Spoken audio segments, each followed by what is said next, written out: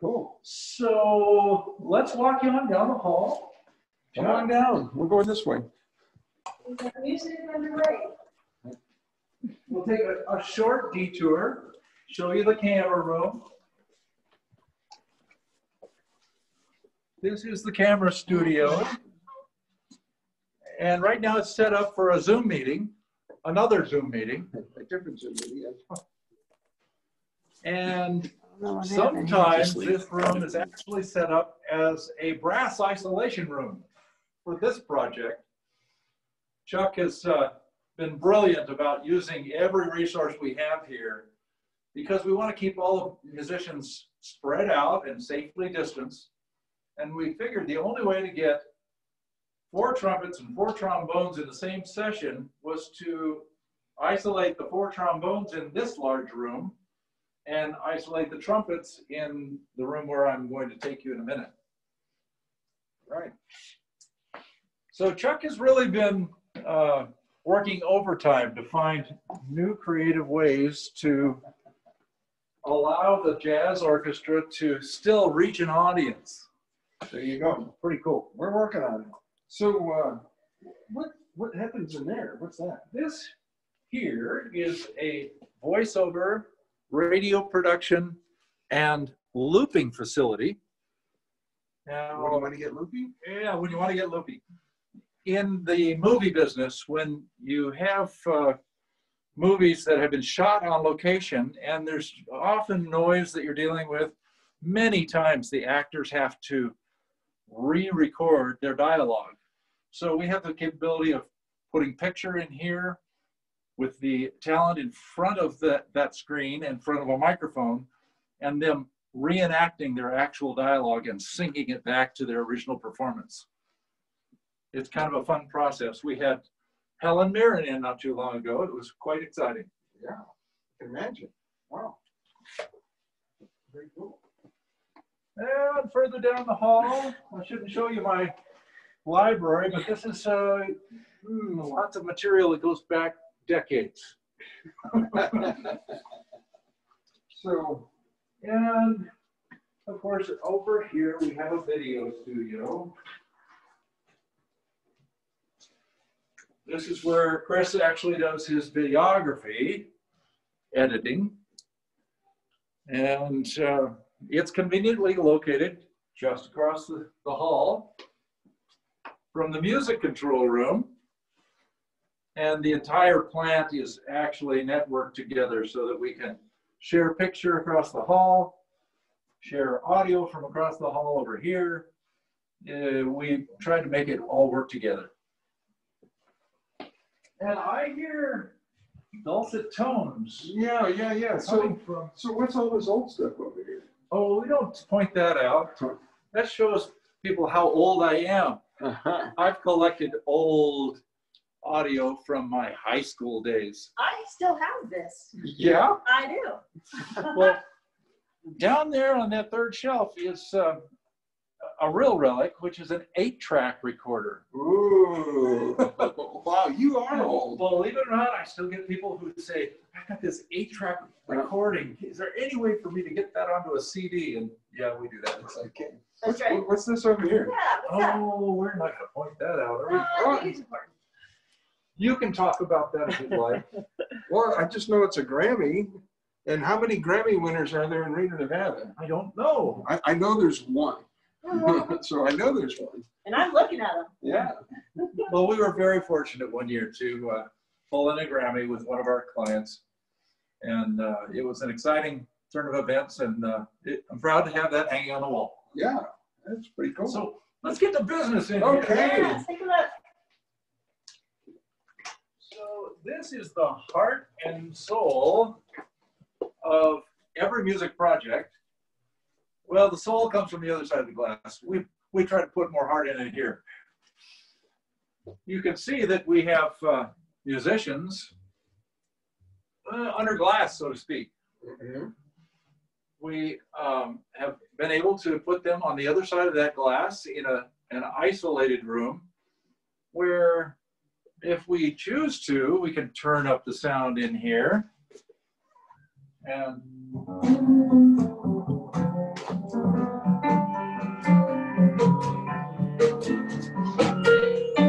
it's, it's kind of cool to be able to say, boy, I'd sure like to be able to hear just the drums. They're all still playing, but I just have isolated those drums. And vice versa. Just the piano. Now we hear a little bit from across the room from the bass. And if I isolate just the bass player, we're hearing mostly bass player.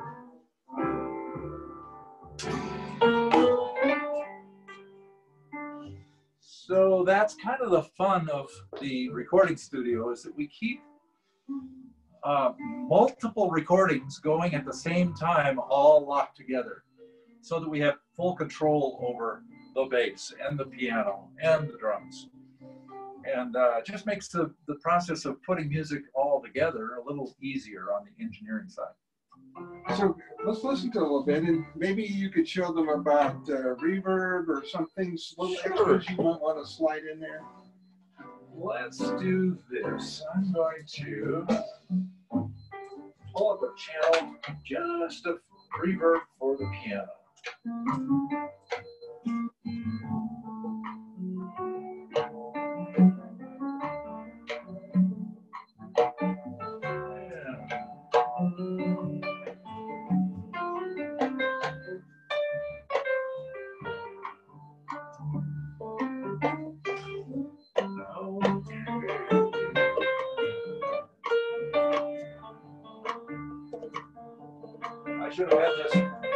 Situated first. Let's listen to that piano play all by himself.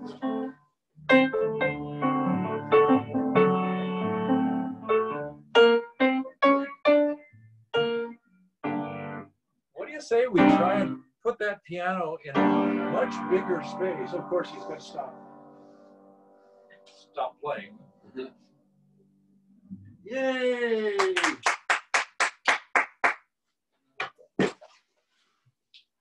A, a piano demonstration. Uh, um, so if you could just keep playing, we, we'd uh, have something to play with.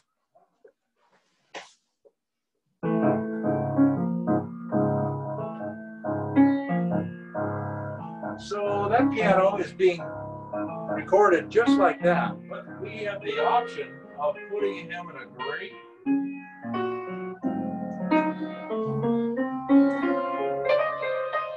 now he's in a big hall. Now he's in a great big space.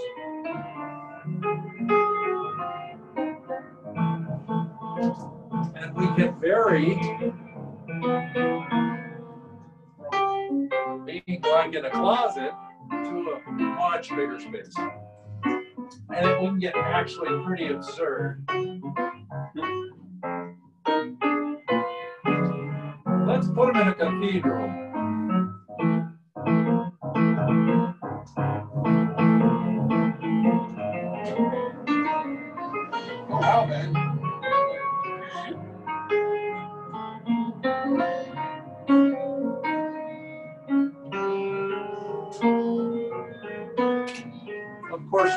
We would never do that. But it's nice to have that kind of control. So, Chuck, Why why don't you um, bring everybody in so we can hear all three of them? Okay. And let's listen to them play for a little bit. that's a great idea.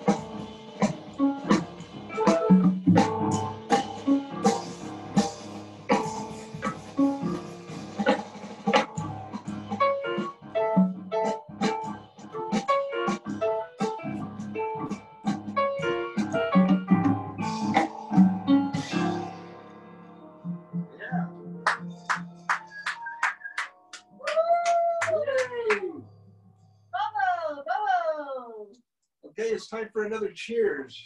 Are you ready to hoist your glass? Oh. Happy hour. Time Your for glass hoister. All right. Woo. Cheers. Here's some great music. Yeah. Thanks, guys. Cheers. They're looking at it, it's like, how come they're drinking wine? Mm. So I'm gonna go in and talk to these gentlemen for a little bit, and Mike's gonna set up a little bit of what we've already recorded, right? And did you have a selection? Um, Surprise, does surprise. this- Right? No, we should, and we need something with the brass in it, so. Yeah, yeah. Okay, so Have fun. I go this way, right? Okay. See, let's just see if they let me in. Sometimes they don't. Hey, guys. Maybe folks can come out for a second? Can you come out for a second? So I'll introduce the uh, trio. You know, that, that tune you played, what was it called? UMMG, Upper Manhattan Medical Yeah, Group. yeah, yeah. Billy Strayhorn. Uh-huh. Of course. Mhm. So um, they're masked, but um, this is Dylan Coleman Tunstall on the bass. Say howdy. Hello. And uh, he is our jazz workshop director and uh, just produced a video, long coming, but we have a video of the two workshops uh, through Zoom. So now we're doing our jazz workshops through Zoom, obviously. Um, any, any parents there that have kids that want to learn about jazz, sign up for the jazz workshop because Dylan does a great job. And you can hear he's pretty darn good bass player too. And so the other thing is, I noticed, I think, is that there was no arrangement. Somebody just started playing, right? Yeah. Yeah. So Angela, you got it going, Yes, sir.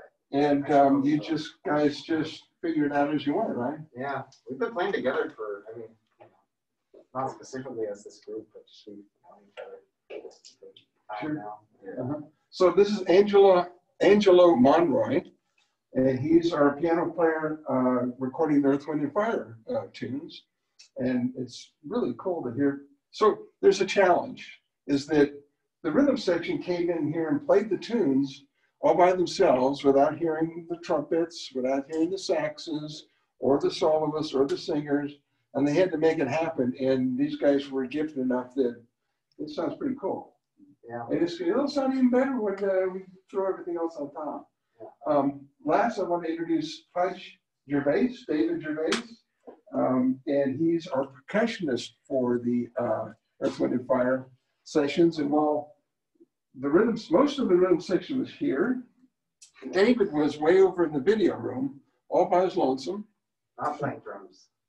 And, excuse me? Not playing drums. Not, yes, not playing drums, just percussion, all the congas and the bells and the whistles and Yeah. all the fun stuff. And he's gonna come back and add a bunch of more percussion uh, to the tunes. And so, and it's just like I said, it's been a real uh, treat to work with everybody here. And um, we're about mm, halfway through the recording. We still have a long ways to go. Um, but we're going to play you a little bit in a minute uh, of what we've done to date. Um, anything you want to share with the our Zoom audience? Oh no, I got a question for you all. Can you? Is there a well? What is the difference between playing live and playing in a studio? I mean, what are the challenges? Are you got something to say? Um, kind of depends on what. I guess it, with the Earth, Wind, and Fire stuff, the different challenge was I was a little bit more. I was improvising a bit less with some of like the material for me as a percussionist. Mhm. Um, live, I might take more risks and try something new every show, but this time I had it to map it out pretty well because I wanted to do what I want and say what I want with that one take. Um, in a situation like this, it takes a little bit to like lock in when you're not actually hearing people just right next to you. But I feel like the opposite, the, the, the other side of that is I, I get to kind of, since I'm isolated, I get to kind of go for it a little more. Whereas in a small club, I, I have to tame my volume down. When we record like our video sessions or albums or stuff, I feel like I can dig in a little more, which can be fun. Mhm. So it's different challenges for different situations, but it's been good to spend a lot more time in the studio than I have been live performing, obviously. Cool. Um, yeah, it's fun. Yeah, Angelo, any thoughts? Um, you know, I, I think the for me the biggest difference is just uh, just overall sound. Uh, I think when you're playing live, there's like this whole, you know, the there's people's bodies in a room that are like absorbing the sound, and that's sort of affecting how you hear yourself. So um, here, it's uh, there's a lot more attention. Like was saying, like there's a greater attention to detail when you're recording in a studio um, versus, you know, sort of this sort of uh, spontaneity that you can sort of reach in a live audience. But I think I welcome both. I think both are valuable, and um, it's been good to do so much here actually during the quarantine. Yeah, yeah. So that's that's why we're doing this recording project to give our guys something to do, and um, it's I'm just thrilled at how it's coming out so far. Yeah. Uh, what about uh, Dylan playing live and playing in the studio? Uh, for me, uh, audience makes a big difference. Like, uh, especially with certain kinds of music, like more improvisational music. I feel like having the audience, it gives you a lot to work with. That in the studio, it's it's hard to feel like.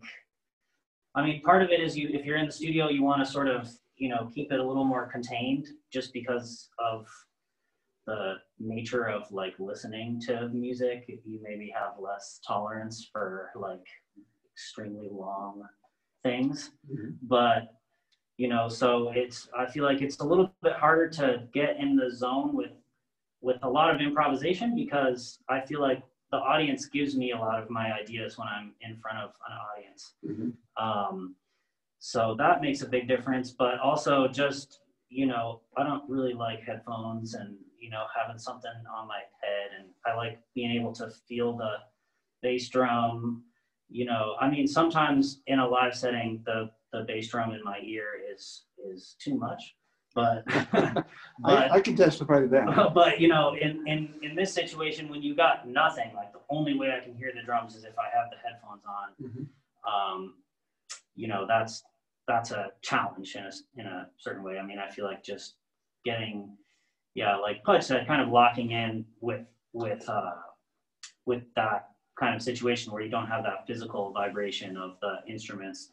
I mean, you know, I feel, you know, it's nice that at least the piano's in here. Mhm. Um, so, you know, if we were all separated, I would, that would be even harder, you know, but, um, but this, this setup is pretty good because it's still small. I can still see pretty Yeah, good. Sometimes you can't see and that's, that's, you know, that makes it even harder. So um, just before I forget, uh, this Friday in the Gazette Journal, you can learn more about Angelo and Pudge and more about our recording session in, in my article that's coming in on Friday. And um, so if you're interested, give that a read. Um, and again, uh, Dylan is starting the jazz workshop this Saturday? Yep. This Saturday. Wow. Uh, and it's all Zoom and it was all Zoom last year. Well, no, we have Oh, one. oh yeah, that's right. We had one. We had One, one. the very last day before things shut down. But Well, so we're gonna um, play a little bit of a tune that we've recorded most of. And then when we do that, I'll ask you guys to, to play a little bit more. Great. That's cool? Great. All right, thanks, man. Cool. Yeah, thank you. Yeah, yeah, Jack. All righty. Uh, let's head back.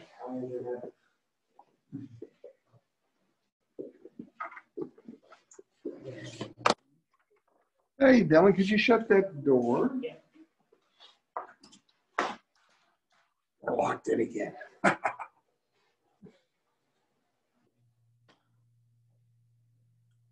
Yeah. Hey, where's my wine? Hey, gang. Well, hi, Chuck. Lee and I just been sitting in here drinking. All, all the wine stains on you. Um, so, to audience, Mike's going to play a bit of a tune, and let's see if we can figure out what tune that is. Let's see. Uh, there's no singing, there's no Yes. solos, not yet, but you might recognize the tune, and so this will be a pop quiz to our audience. What tune is this? Shall I crank it a little bit? Well, I guess. It's happy hour. Let's go.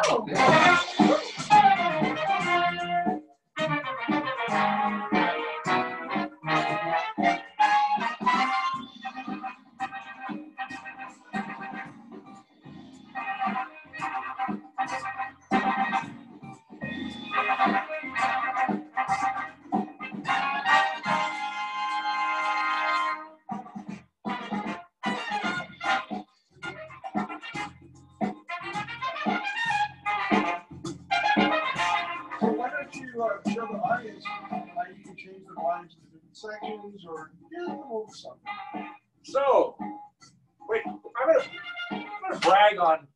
just a little bit Oh boy, okay. because one of my big pleasures in life is to watch musicians do what they do.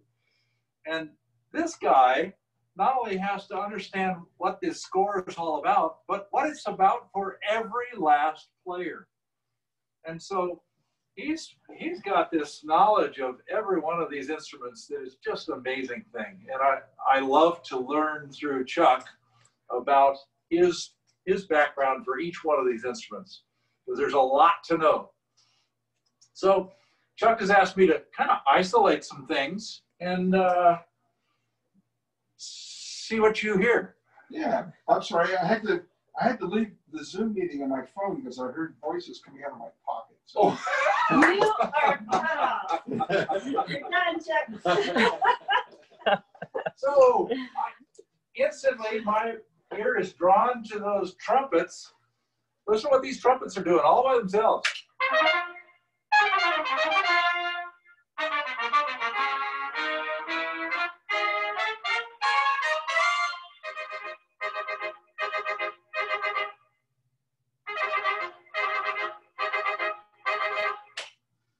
And let's listen to what the the trombones are doing that same passage.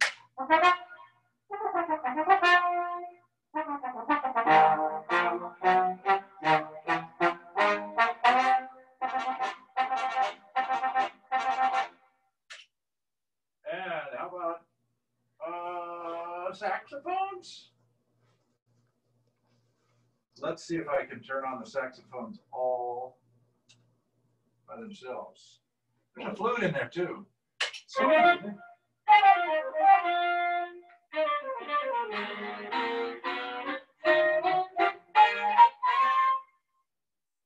yay. So it's kind of fun. Let's can we hear a little bit just of the rhythm section? Yeah, let's listen. I'll turn off all the saxes. And Oh, by the way, has anybody guessed on the tune? Does anybody know what this tune is? we can't hear you. Yeah. Okay, we'll find out later. Hey, John, do you know? Lee, John's played it, so. Lee, you have to say, ooh, ooh. What, what was that, Mike? One more time? What's the answer, John? What was the question? I just got back. Sorry. Oh. oh, what's the tune we've been listening to? That's Getaway. One of my yes, favorite. it It is. is indeed. I bet I better know the answer to that. You get a That's right, free, you've been playing it. you get a free CD for that answer. Oh, thank goodness. I can't wait. So now we're gonna listen just to the rhythm section.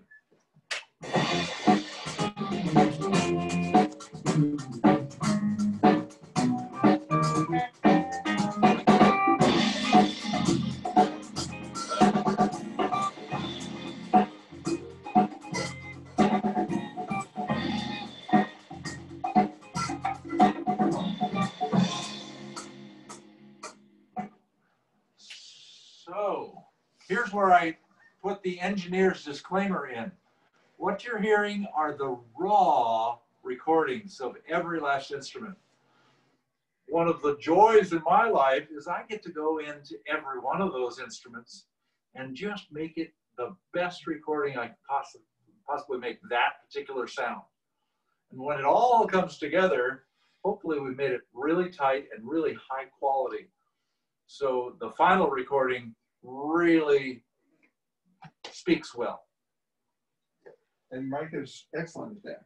Oh, and I can't wait to work with singers since I, I made my living as a singer for years and years. It's going to be really fun working with the singers. Uh, so, uh, John, I don't know if anybody's had any questions in the chat or does anybody in the audience have questions about uh, what they're seeing or they want to learn more about? No questions in the chat yet, but let's take this moment to encourage anybody. If you have any questions for Mike about how the studio works or general questions about the music we're making or just any anything really or some comments, feel free to put them in the chat there and then we can relay a little bit of a Q&A here at the end. Um, so now would be a great time to give us your questions. We got some some great minds in the room. Let's pick their brain. Sure. Okay. Um, do you want to hear a little bit more of this or get the guys to play some more? I'd say live music. Okay, so uh, while you gather your thoughts and questions, we're going to ask the uh, trio to play. And um, after that tune stops, maybe there'll be some questions to ask. So uh, here, I learned a trick. If you, if you push this button, see this button right here? You can talk to the guys. And I'm going to say, you guys ready? No, they can't hear you yet. I have to turn Oh. that microphone on for you. Okay, now they can hear you. No? Oh, okay. okay. Are you guys ready for uh, a tune? There we go.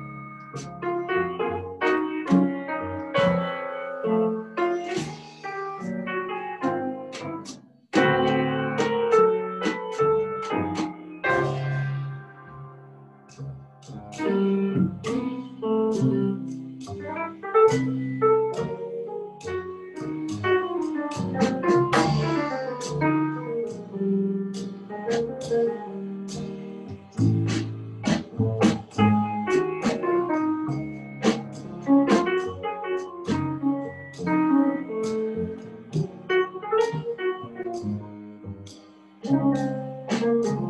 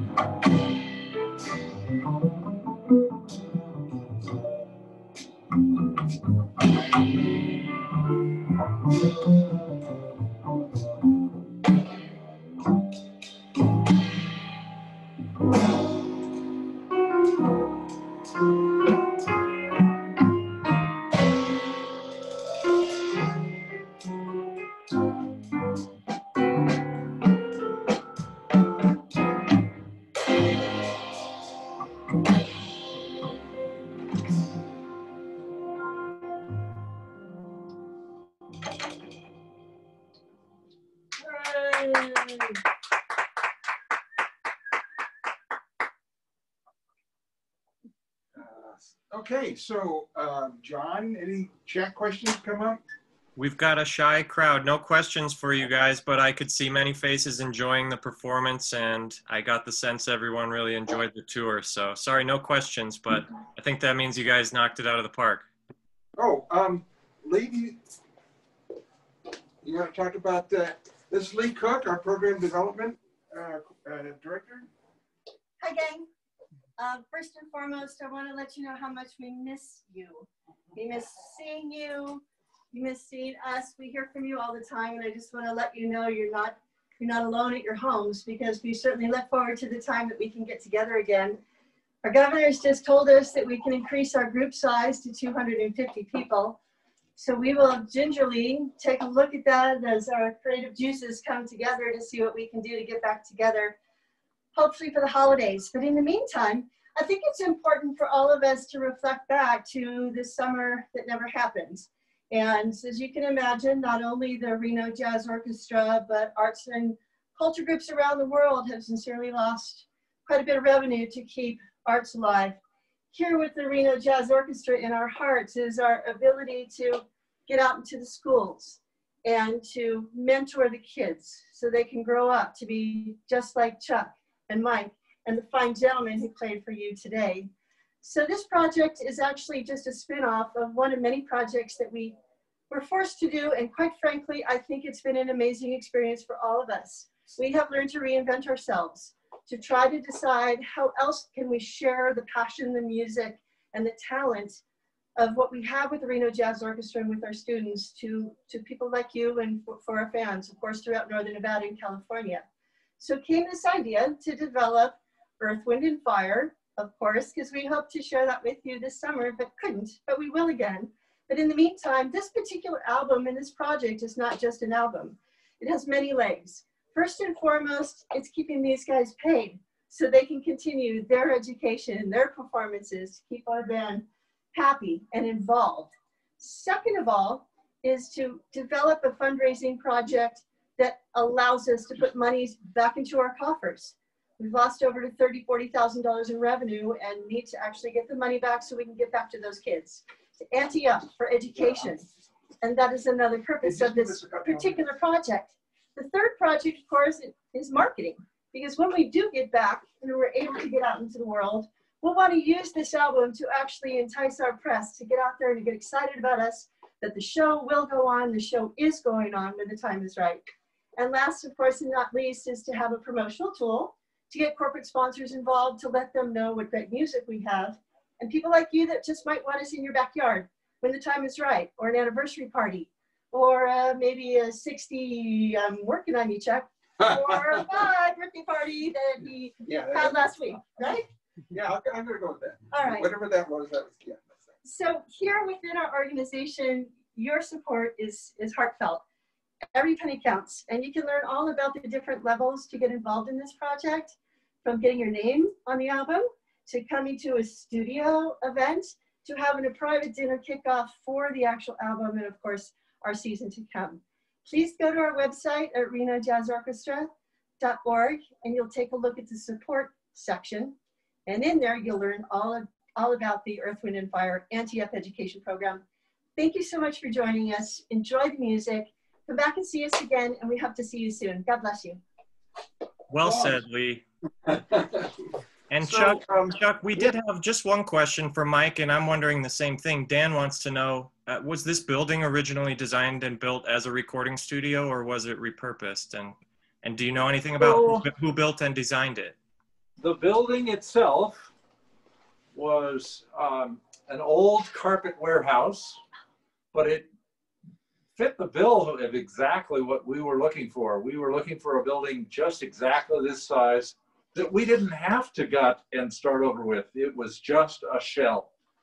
And working with Don Clark, our architect, we actually, he and I worked together to configure the building on the inside because studios are actually buildings built within a studio, within the building. So every one of these rooms is actually a standalone room that is built to not touch another room. We want to isolate the sound as much as we possibly can. So this room doesn't join with that room actually. It's a separate set of studs. So the configuration of the building within the building was all done from scratch, working with Don Clark, the architect. And I think he did a pretty good job of uh, taking into consideration some of my concerns. I told him originally we want the entire back of the building to be one big music studio because that's where my heart is. He talked me down a little bit. He says, What's the largest group you could ever record in here in Reno, Nevada?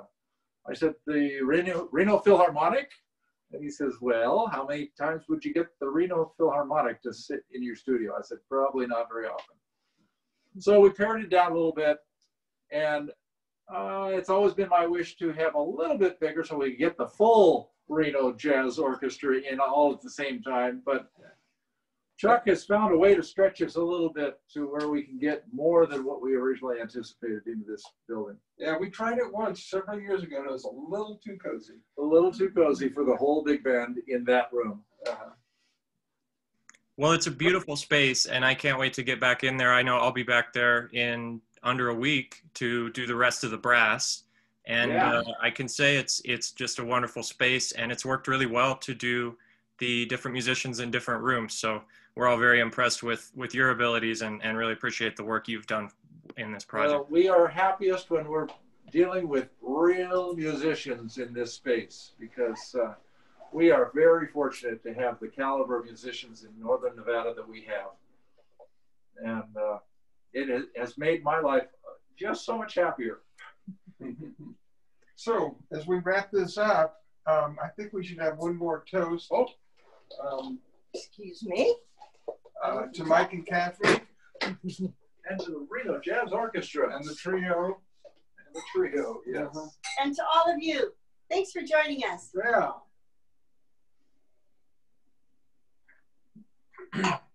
So we're gonna wind up with the trio playing, and you're welcome to stick around as, as, as long as you would like.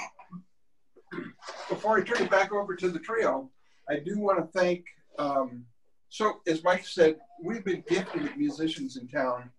And as folks like me were getting older, we were worried, where's the next generation?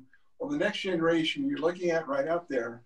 And it is such a treat to hear um, this next generation create music. And um, so I'm thrilled. Okay, guys, you're on. Check line.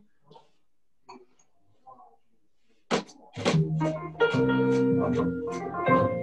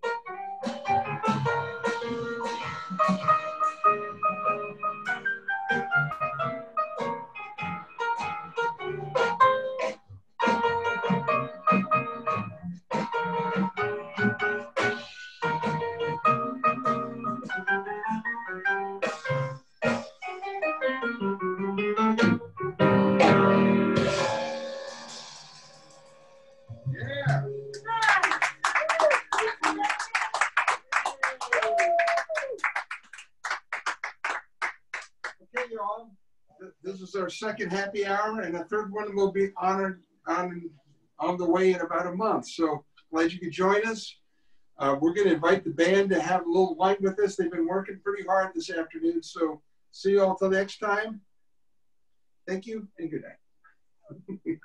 Oh, Oh, and there's Catherine. Our, our now we can see Catherine. All right, John, over and out. Thanks so much, you guys. That was great. Thanks, guys. I'll see you all soon. Bye bye. Thanks everyone for joining us. We hope to see you soon.